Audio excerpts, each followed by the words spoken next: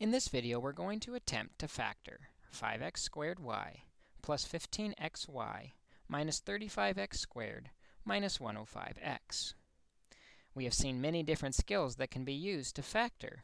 The trick is knowing which skill and technique to apply at which time.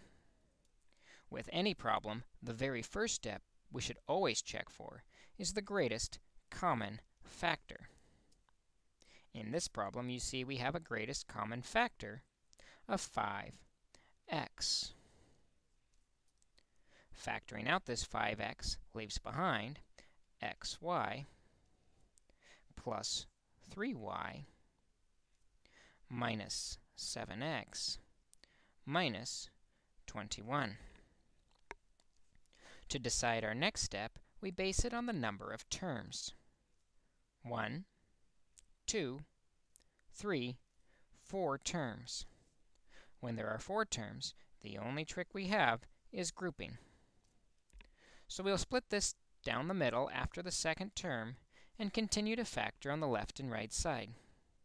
In this problem, remember the 5x is in front of everything. On the left side, there's a GCF of y, leaving behind x plus 3. On the right side, there's a GCF of negative 7, leaving behind x plus 3. Notice we do have the binomial GCF that we're looking for in this problem.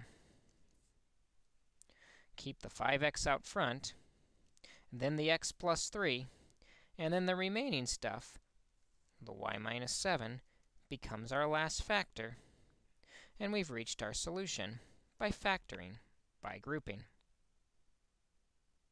We can always check this answer to be sure it's correct by multiplying out the problem as we have it.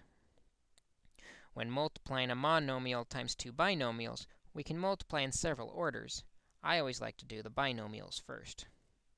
Keeping the 5x out front, x times y is xy, x times negative 7 is negative 7x, 3 times y is 3y, and 3 times negative 7 is negative 21.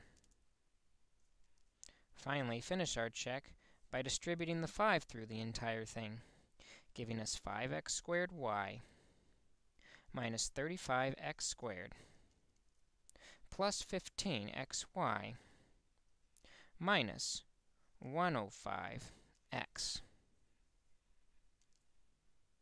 The middle terms are in a different order, but they can be switched because addition can happen in either order. And we see we've got the same thing we started with.